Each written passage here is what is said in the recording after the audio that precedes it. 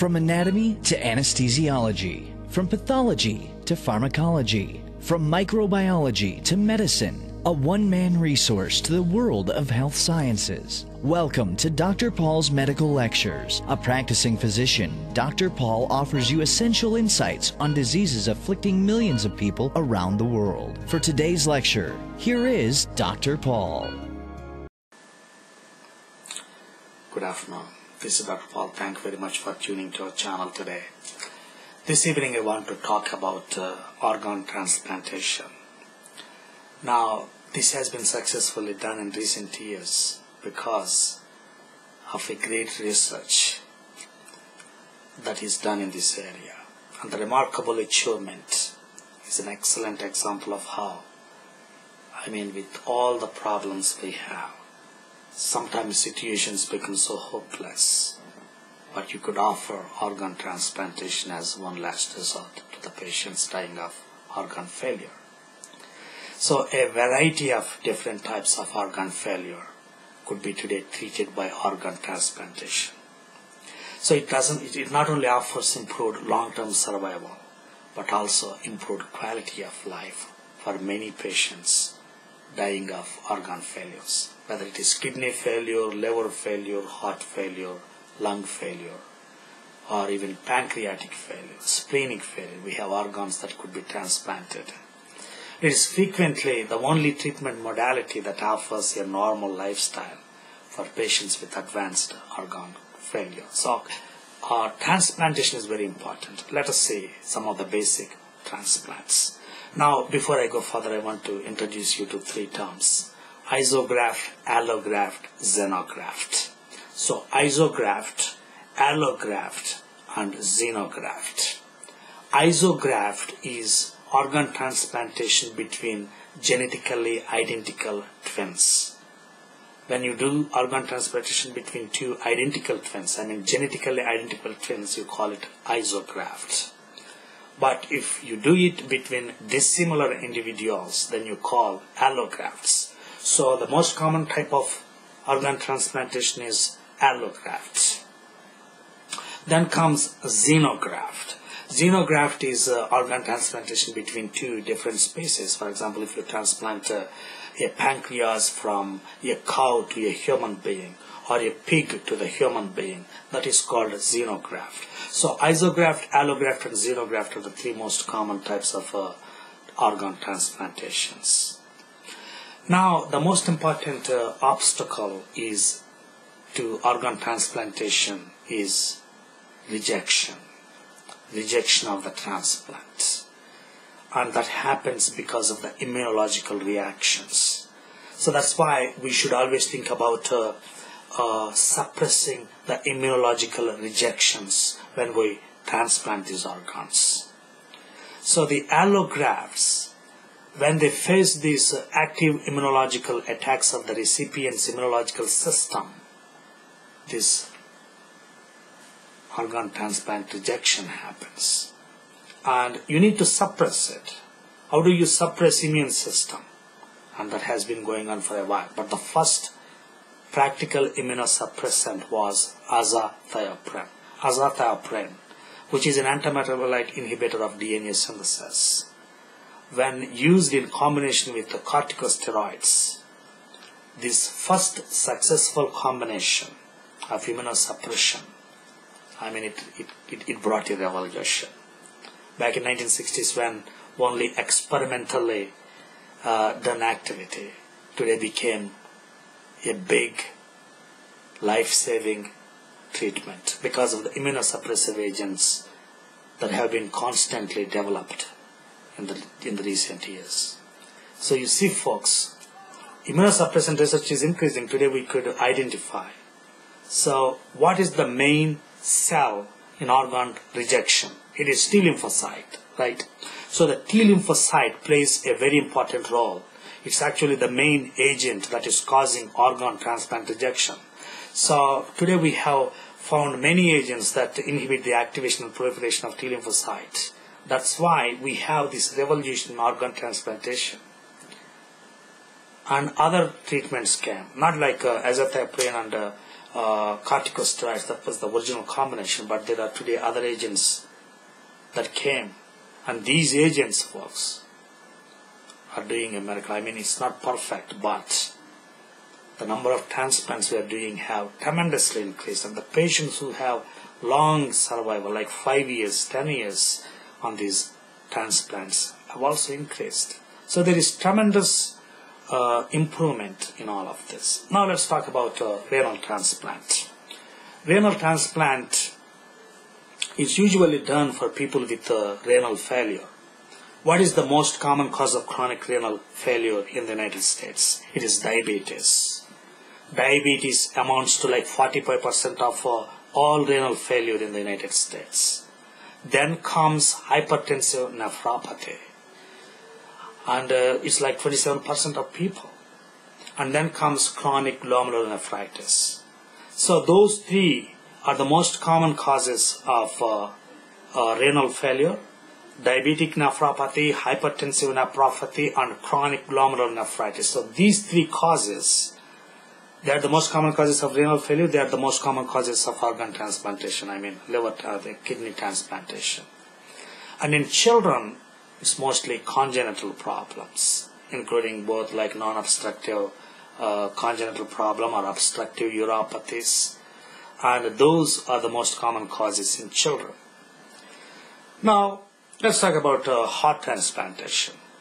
And you know, the first successful human heart allograft transplantation was performed in 1967 by Christiaan Barnard, a South African surgeon. And at the time, however, the patient survived only a few days after the transplant because immunosuppressive therapy was only azathioprine and steroids. The regimen was inadequate to suppress the rejection. That's why patient did not uh, survive that many days after the transplants, but it was a revolution. Today we have more and more agents. And the introduction of cyclosporin in 1981, it caused a big revolution in heart transplant. Now today we have like 2000 heart transplants, transplants every year performed just here in the United States. So today the uh, survival rate has increased. It's like over 85% of people survive more than one year. So the heart transplantation came a long way. Then heart lung transplantation. It was introduced in back in 1981. Today, if uh, patients with primary pulmonary hypertension or congenital heart disease with uh, Eisenmenger physiology. So these patients, they do well. Even with fibrotic lung disease, with cor pulmonale or cystic fibrosis, you can do heart lung double transplantation. Then lung transplantation alone. And it is currently performed for many different diseases and for things like uh, emphysema cystic fibrosis, and pulmonary fibrosis, alpha-1 antitrypsin deficiency, and you can say even primary pulmonary hypertension, congenital diseases, so terminal COPD. So these are very, very good candidates for uh, uh, lung transplant, folks. And many of them live many years. And you need to give immunosuppressive agents to these recipients and it is very similar to heart recipients. But the cornerstone is calcineurin inhibitor. So, so you give a calcineurin inhibitor in these patients. That's the cornerstone because these patients they do very well. And the other thing is acute rejection may be effectively treated with corticosteroid pulse therapy. So corticosteroid pulse therapy is very very important in reducing the transplant rejections in lung transplant patients. Now the most important uh, complication is the development of bronchio-obliterans syndrome. That is called BOS, bronchio-obliterans syndrome. The patients develop, it's very, very difficult to recover from that. So that is the major long-term complication of lung transplant recipients. So it is BOS. Remember that. Bronchiolitis obliterans syndrome. Bronchiolitis obliterans syndrome. That is the major complication in lung transplant recipients.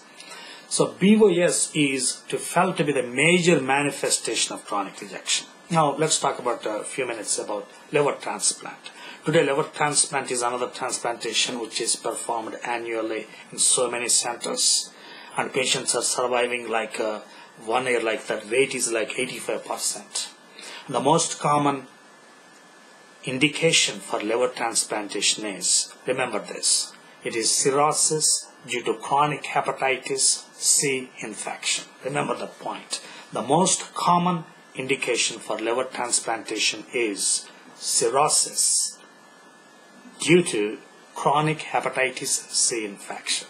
I mean, of course, you can do for other things like uh, the hepatitis B infection. That's uh, cirrhosis due to when the patient has cirrhosis due to hepatitis B. You can do it in alcoholic cirrhosis. There is primary biliary cirrhosis. There is sclerosing cholangitis. And there are autoimmune hepatitis. There is also cirrhosis secondary to uh, non-alcoholic fatty liver disease. So there are other things. And in children, the most common cause is biliary atresia. So if a child has biliary atresia, the best is to do, go for this liver transplantation. So you see folks, there are many good uses of liver transplantation. And the good news is many people are surviving many years. And current contraindication, there are contraindications. For example, if a patient is like uh, having cardiopulmonary disease, then you cannot do liver transplantation. So that's why you should always uh, see, look for uncorrected coronary artery disease in these patients. The patient has pulmonary hypertension with uh, pulmonary artery systolic pressures like uh, going more than 70 mm Hg, or even if the lung problem like FEV1 less than one liter on pulmonary function testing, then you cannot do liver transplantation. Another absolute contraindication is like uh, substance abuse, active substance abuse. And other uh, contraindication I would say is diabetes. But if you can manage these patients, you can actually do liver transplantations even in diabetes, even in HIV. There are centers today doing liver transplantations even in HIV patients. It's no longer an absolute contraindication. Now, pancreas transplantation, the next one. Pancreas transplantation. And as you know, pancreas plays an essential role in insulin synthesis.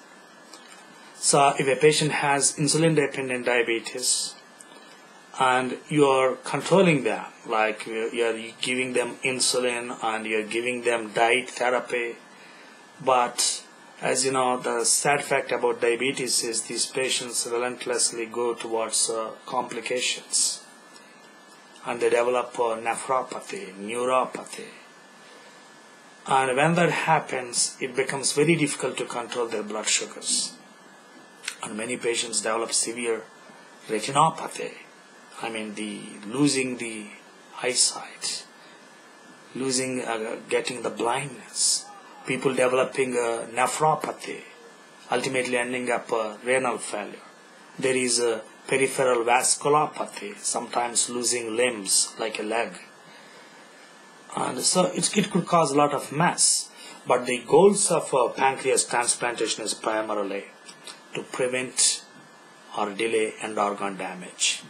You see, I mean, what happens if you give, if a, if a diabetic patients develop uh, hypoglycemia, their autonomic nervous system gets activated and they feel the symptoms and signs of uh, hypoglycemia like uh, uh, disorientation, dizziness, and all that stuff. But when neuropathy happens, they lose that ability of autonomic nervous system. So when the patients develop diabetic neuropathy, and lose autonomic nervous pathways that allow patients to recognize the symptoms of hypoglycemia, what happens?